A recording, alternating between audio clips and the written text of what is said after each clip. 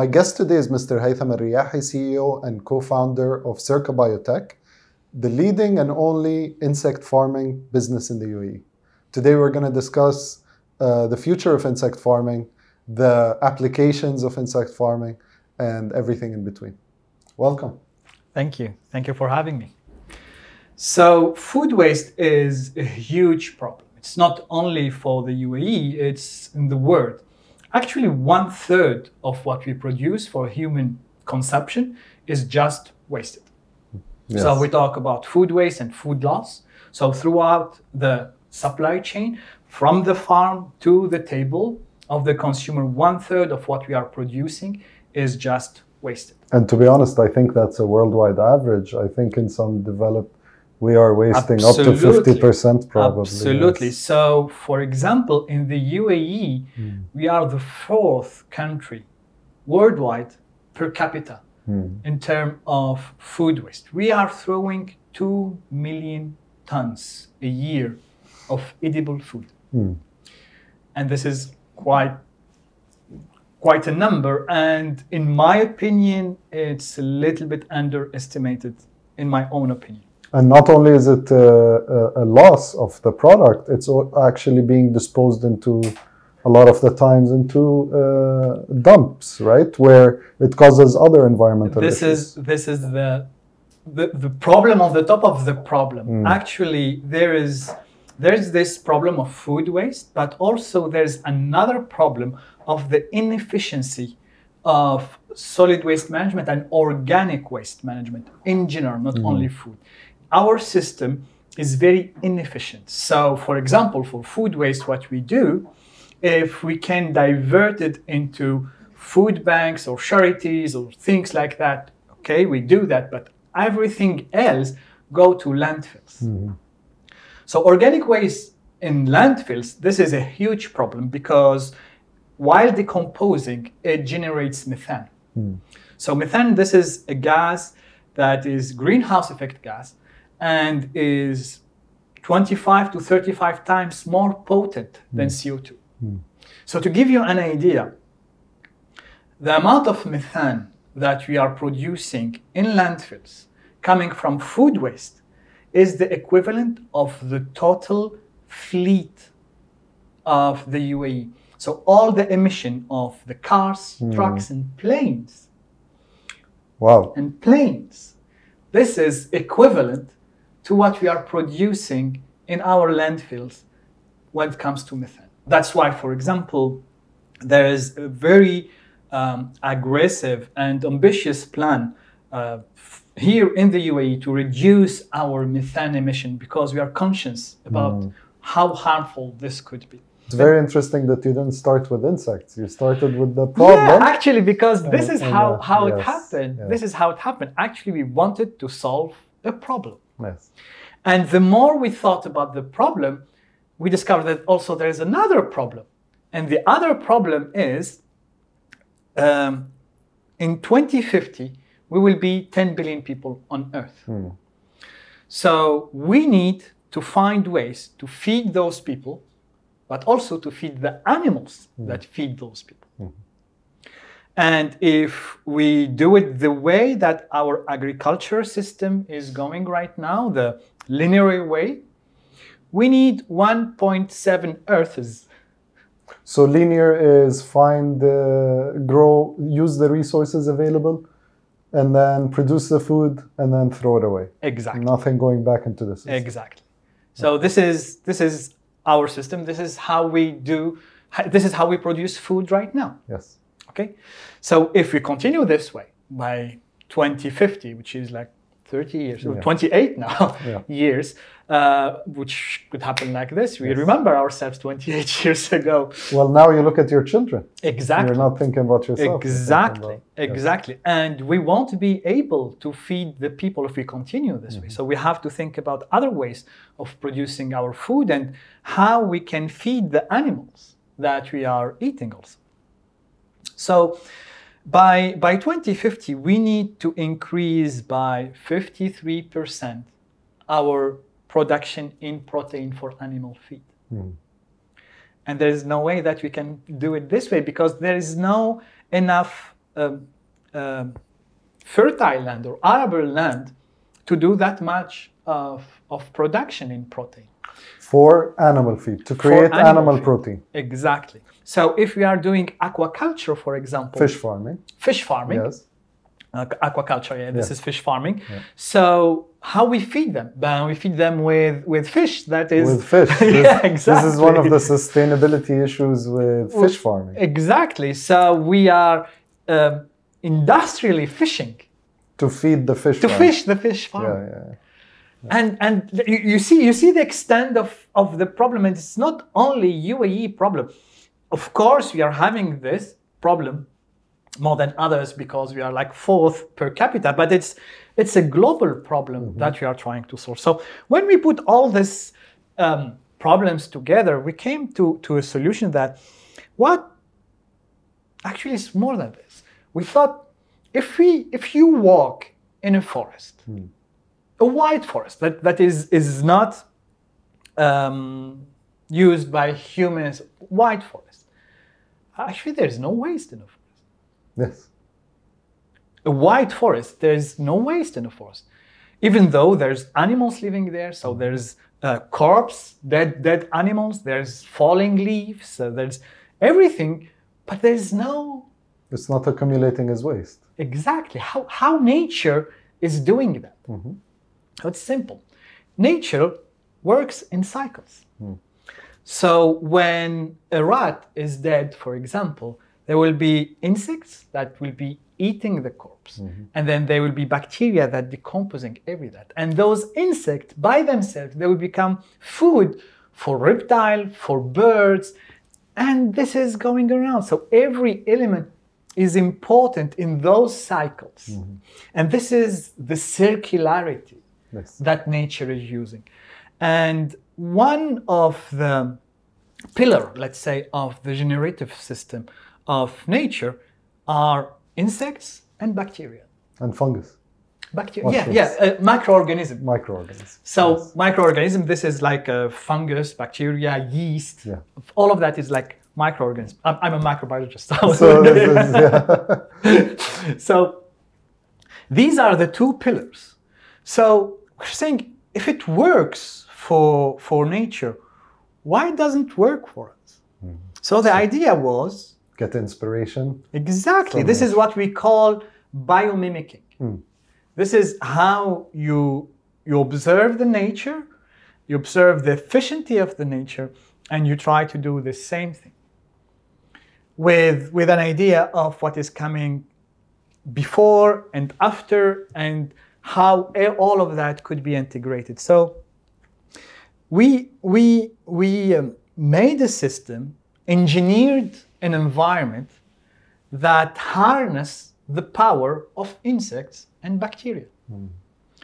So we created a company that uh, collect food waste. So we collect food waste from um, food retailers and Cir- Circa Biotech. Circa. What does Circa Circa mean? Circa actually it's it's a Latin name for circular. Okay. Circa So Biotech. there's kind yeah. circus. Yes. Okay. It's it's it's a circle. Circa. And biotech because we are using biotechnology. So a circular biotechnology, Circa Biotech.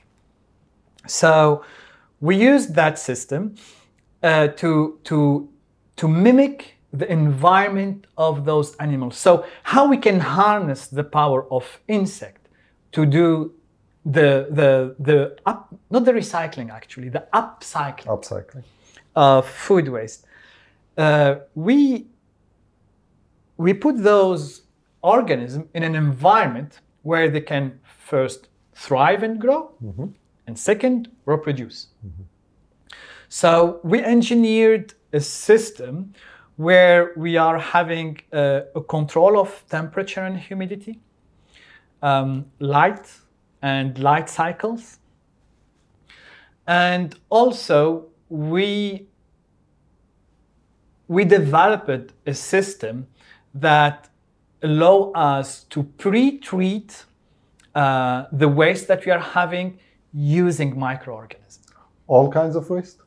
Everything. All kinds Organic of waste. waste. Organic. waste. Organic waste. But you know, with comp, let's say if we are mimicking nature, we are looking at nature. You end up having compost, with the microorganisms. You end up having uh, mushrooms as a product, and you end up having insects. So we see those things, those industries growing now, composting, mushroom farming, and, and insects. But with, with composting and mushroom farming, you have to be selective.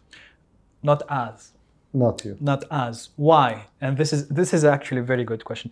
Actually, what, what is happening is we collect the food waste. Okay? We start by doing fermentation. This could be, sorry, I, I want to stress this because it's very important. Every, every Cheese. food. So this could be fruit and vegetables. Uh, this could be Cooked foods, cooked food, cheese, meat. every, processed food, Wow. uh, processed food, uh, meat, meat and bones, cadavers. Okay. No, no one's going to take it this way. Yes, we don't have any limitation of water content or um, uh, protein content or all of that. So, So we, this is excellent. You have all the inputs, a solution Exactly. for all kind of food waste. why? Because we have two. Because we have fermentation microorganisms And and, then- we have insects. Okay, so now you get into the insect farm. What kind of insects? So we don't work with all insects. Mm-hmm. We selected one insect, one kind of insect. It's called the black soldier fly. Okay. Why the black soldier fly? For, for several reasons. First, um, performance reason. Hmm. So the black soldier fly have a full cycle of 45 days. So this is very efficient. Okay. But within the full cycles, let me, let me get back a few, Sure, few this words. is, this is the passionate Yeah. part, yes. So, um, actually, you remember this story of the caterpillar eating and becoming a butterfly, and then Yes. okay. Actually, all the insects they have the same. Okay. So all the flies that you see, they started their life as a larvae. Okay, so a grub. So our insect, the black soldier fly, as all insects, start uh, with eggs. In four days, they hatch, and we have larvae. We call them neonates. We call them neonates because they are few millimeters Tiny. tiny, a few millimeters in width, and and they're uh, in length. Sorry, they, their whites is microns. They're barely, barely seeable with with a naked eye. Those animals will stay 14 days eating, and they grow 500 times. Wow. I know 500 times sometimes like little bit like it's an idea we, we, we don't see it let me bring it to, to something like you can see so it's like for a human baby in 15 days grow as much as seven elephants that much. That's how fast. that much. So every day they eat the double of their body weight. So it's like for me i'm 80 kg. It's like for me eating 160 kg per day. Every single day. I- no because tomorrow i will be fatter. So i will be maybe 120 and i will Wow. be eating 200. 200 exactly. Exactly. And this is the how they grow.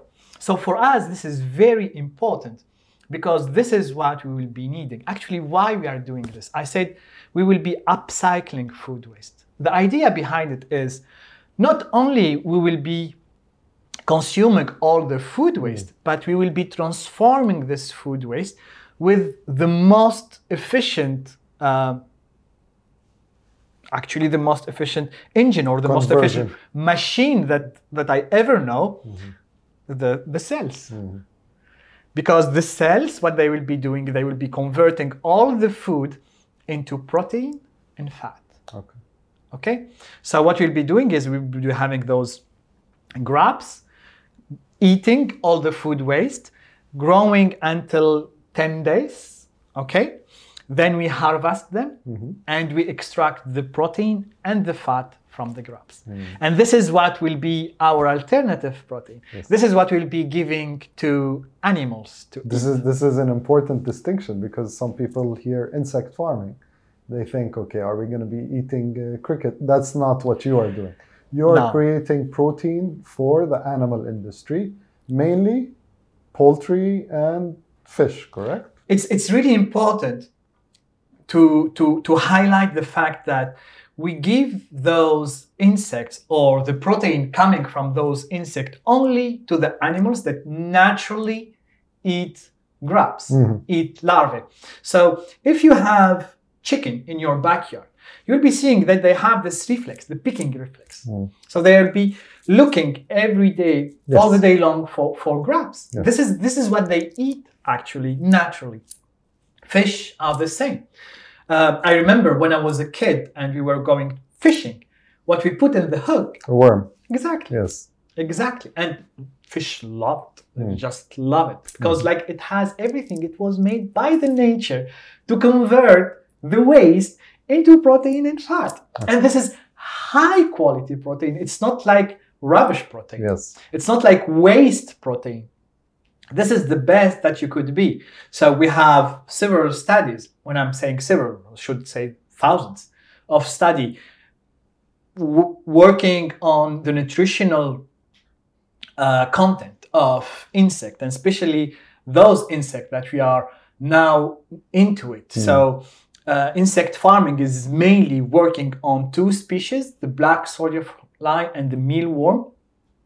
So these are two that they're having like very high level of protein, and the protein that they are having, the acidoamine um, profile is really interesting, really really interesting. Not only this, not only this, the protein and the fat are for high quality, but naturally, those insects they produce what we call peptide. So peptides these are a small protein and these are small protein that are active against other pathogen microbes. Mm-hmm. So by eating that, you will enforce the animal, the, the, the fish or, or the poultry internal immune system and it will fight against pathogens. I think this is an important concept in agriculture because today we see, um, as you said, rubbish proteins or different kinds of protein. Let's say you're feeding mainly a corn diet to poultry, you're going to end up seeing more disease, more pathogens, more problems, more antibiotic use, and so on. And and the animal industry is the, one of the biggest sources of antibiotic resistance. Um, even though they try to blame the doctors, the reality is the animal industry is using the same type of antibiotics that humans are using And, and hormones. And hormones. So uh, this is a higher quality feed. Not only is it replacing um, unsustainable practices of feed, it's also giving a higher quality food product. Exactly. Do you have any other waste or product streams that are coming out of this process? Yeah, I, I will come to that. But first, um, here I wanted to say also that um, the, the, this protein or, or what we are producing, it should be also part of the diet. Hmm. So for chicken, for example, we don't give only insects. That will be too much. It's like for hmm. us eating only me- meat. Hmm, it it doesn't work like that because they need fibers, they need other things. So it's it's a balanced diet. It's part of the feed. exactly. 10, 20. 17 to 21 depending on on the species Okay.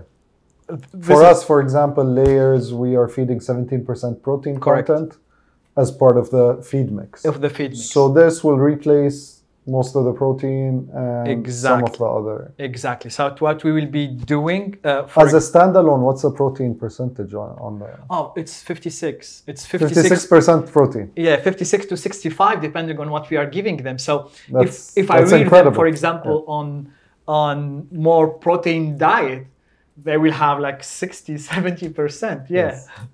So uh, coming back to what you said yes, So we are we are having um, protein and oil, but we have also another byproduct, uh, which is uh, their frass, the way the okay, the manure. the manure. They, Yes. they produce manure because Yes. they are eating, so Yes. they produce manure. And this manure is very efficient fertilizer. Some of the highest quality. So for us, vermicompost, which is something else, but it's also an insect manure, is called black gold.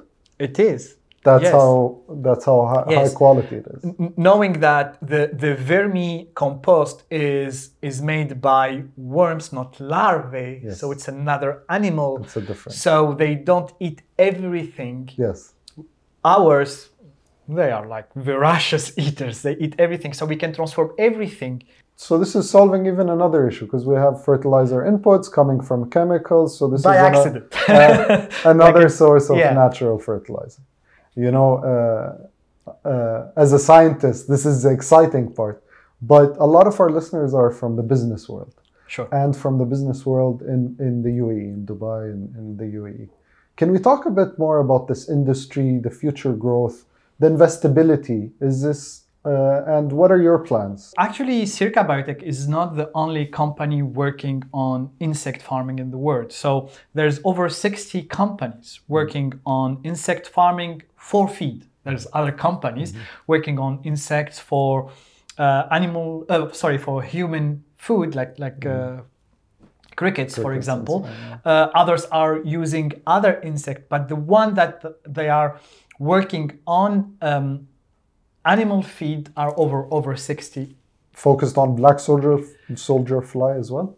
Mostly? black soldier fly and mealworm. So Okay. there's these these two uh, these two insects that are are used throughout the world. So in Circa Biotech, uh, we have two specificity. This is what stands us out of, of the crowd in, in this world of insect farming. The first is our um, fermentation process.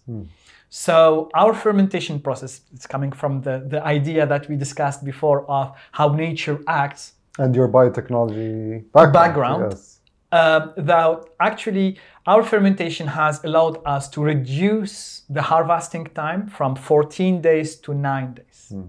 So this is what we bring to, to As an IP of the company. as something that is ours. This is what we developed by ourselves. And this is this is what uh, you know. I was saying that the, the, the coming into this farm, you see that it's a it's a lab. It it's a high tech lab, and It you is. guys are working on reducing this. It is. Uh, so it, it's, it's one, one aspect. Actually, I would say it is a lab, a factory, and the farm. and the farm. So the first thing that distinguish us among the other is like we we we harness also the power of microorganisms. Reducing the production time. Reducing the production time. This is really important because at the end of the day, what we are selling is protein. Mm-hmm. So it's important. It's you, you are producing chicken. Yes. So you know if your chicken is ready for market in two weeks instead of three weeks. That's a This is that's a huge difference. this is a huge difference. So for us, it's the same. So instead of 14 days, we reduce it to nine days. So this is the first aspect. And the second aspect is our process, the whole thing, the whole process, the way that we, um, the environment is maintained, the way that we make it uh, suitable for for those animals to grow and to reproduce. Actually, we are three co-founders. So it's me and Christina. We talked about like how we had the idea, and, and very quickly because we we realized that we need an industrial hmm. part of it. So we had our third co-founder, Ludmila, who is had a PhD in manufacturing. So this lady, her job is to build factories. Hmm. So and we bring all those knowledge. If you look at this industry worldwide, the the interest is getting enormously the five last year. So I will give you one one figure. Uh, five years ago, so um, it was the investment into insect farming was below five million dollars worldwide. Hmm, total. Worldwide, five million dollars. Last year, the investment into insect farming reached 425, 425 Million. million dollars, and growing. Amazing. So a lot of investor interest. Of course, because you can you can see how it is, and more than this, This is considered maybe deep tech because you're going to end up changing industries. we are and in aspects that today honestly i cannot even tell you at what extent hmm. because the application of those proteins and those oils, we, we are just scratching the surface. So when you extract the product, the protein, you get also high quality oils, which could Correct. have applications that. Would you say you are capturing carbon in your process? Is it a carbon intensive, you know, a part of the sustainability? We, we are not capturing, Mm-hmm. but we are not producing at all. You are you are reducing the methane, So we are re- offsetting. Offsetting methane, Exactly. and then offsetting the fertilizer or the inputs or the feed. Exactly. The solution that we are we are we are producing here is economically viable. It's not related on subsidiary. It's not related on uh, financial help or, or any of that. So this business can be a standalone business where we are um, getting the food waste, processing it. So we process the food waste. So we are clearly a competitor to landfills. Yes. Our idea is to divert food waste from landfill. One of our KPIs, like achievement KPIs, is if in this country, with all the effort of everybody together, uh, food banks, food retailers, IT, uh, and and deep um, uh, AI data. big data. Yeah, big Wait, data. Sure. Big big data treatment because it's it's a very complex. Actually, it's a very very complex problem. If all of us we could divert all the food from landfill, for us we we, we succeed. We we really succeed on that. So the first is the treatment of of the of the food waste, uh, and for us it's it's a source of revenue. So this is our first stream of revenue. The second, So to treat the food waste, just to clarify, it's uh, you, you get paid to do this. yes, Correct. You're not purchasing the input. no, and, and this is one of the difference, for example, with the rest of the world. Especially now, there's tipping fees that, that was recently introduced this year. This is this is where we are placing ourselves. Like you, you are aware, aware about it. So we we place ourselves less than the tipping fees for the land. so it's cheaper to give it to you, more Exactly. sustainable. More sustainable. Okay. What do you need? Yes. so this is our first activity, and our first activity is processing food waste. This is our first stream of revenue. The second stream of revenue is selling protein. So to whom we sell protein? The protein we sell it um, first or to animal feed manufacturer. So we are ingredient supplier for the animal feed manufacturer. So he can create that 17% protein mix for me exactly. with a higher quality. You know, a lot of people hear insects, maybe food waste, multiple sources. How do you ensure chemicals, pathogens, all of these things is not being transferred on? Is there a big uh, sterilization, uh, pasteurization? Is there is there any risk of, of that contamination or anything because it's going to go into our food stream? Exactly. So this is this is where we are very strict on our manufacturing process and the way that we are getting. So, of course, uh, first there's there's regulation. So because we are into uh, the animal feed, so we are in a re- highly regulated environment. Even even the the setup of our laboratory and our factory is very strict, very strict.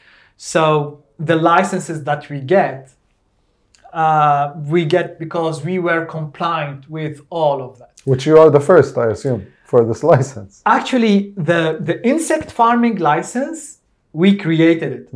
Didn't exist before. We created the license. So this is where we see like the pioneering part of Yes. it. We created it. But in order to create it, we have to be compliant with a bunch. It took us like two years. Just this part. Which brings me to the question is that, you know, with these policies and regulations being new and this industry being a new and growing one, uh, what changes do you need to happen for this industry to, to, to reach its potential? Um, uh, as- as I said, as pioneers, our first problem is there was no uh, legal framework. Uh, so we have to build everything from scratch. And also, from our perspective, we wanted this to happen as soon as possible. Yes. So we wanted to have like adapt some of of the existing solu- solution that that exists, and one of them like for now we are uh, we are an industry, we are industrial operator for animal feed, but in reality we are also a farm because we are dealing with agricultural waste and we are dealing with um, animal feed. And and we are we are rearing animals. Actually uh, if you want the law in the in the in the US those are considered as cattle The insect farm. yes. The same. Yeah. the same. Because like if, think about it. If if the chicken that eat your food you will eat it some of it will be transferred there. So we have to be like as strict uh, even stricter than than the guys who are uh, raising and breeding chicken. And the regulation should be like for, for the moment you are in a kind of a gray zone where it's not very very well defined. So we don't benefit from a lot of advantages that farms benefit from. So which uh, could be uh, utilities uh, price uh, which could be um, uh, even even like um, if if we buy uh, because we, we need sometimes to um, to have like chicken feed to buy chicken feed uh, we buy it the the catalog price the Yes, high price yes. we are not subsidized for for anything uh, even though we are part of the uh, of the of the strategy of uh, food security in the UAE. Um, maybe something that you you know you personally, but our company uh, was inaugurated by Her Excellency Mariam Al Mheiri, The Ministry of the Ministry of, Climate of Change. Climate Change Environment, and yeah. Environment in the UAE, and she came to our um, um, factory and like a formal inauguration. We signed an MOU with with the ministry, so we are aligned with with all of that. We are aligned because we will be producing animal feed locally at an industrial scale. We will be uh, solving the problem or contributing to solve the problem of food waste. We will be reducing the, the methane emission. We will be diverting food waste from from uh, landfill. So it, it ticks so and many creating boxes. fertilizers for and the creating jobs organic and, fertilizers and, and, jobs and yeah. making money, yeah. which is important, which is very important because so to summarize, you're saying that what you need is that you should be taken as part of the agriculture industry in all its aspects, in its support measures, especially. absolutely. Yeah. Absolutely. All the circularity is nice, all what we are contributing is nice, but in order for us to survive, in order for us to build a sustainable business, the bottom line. Hmm. So, with everything that you said, and including the, the, the local subsidiary of the animal feed, so we are not into this program if anyone is hearing here, please, uh, we need to be in this program. It's really important for us because we are competing against imported uh, chicken feed or fish feed that is subsidized for, for farmers. Our product is not. Even with that, we could be So, placed. so what you're saying is uh, a helpful thing is to include your product into the national subsidy program for farmers locally. Absolutely. So I buy your product through the government subsidy, just like any other feed. Any other feed. just like any other feed. any other Okay. field. This is this is what we are trying to do, and we can be positioned on on a level that we are in the same or, or same category, let's say, with imported feed. With your own efficiencies and your own business, Yeah. you can get there. yeah, yeah. I wish you the best. Thank you. Thank you so much for joining us today, uh, Dr. Haythem, and we look forward to hearing more about Circa Biotech in the future. Yeah, you are more than welcome. Thank you for giving me this opportunity, and I'm looking forward.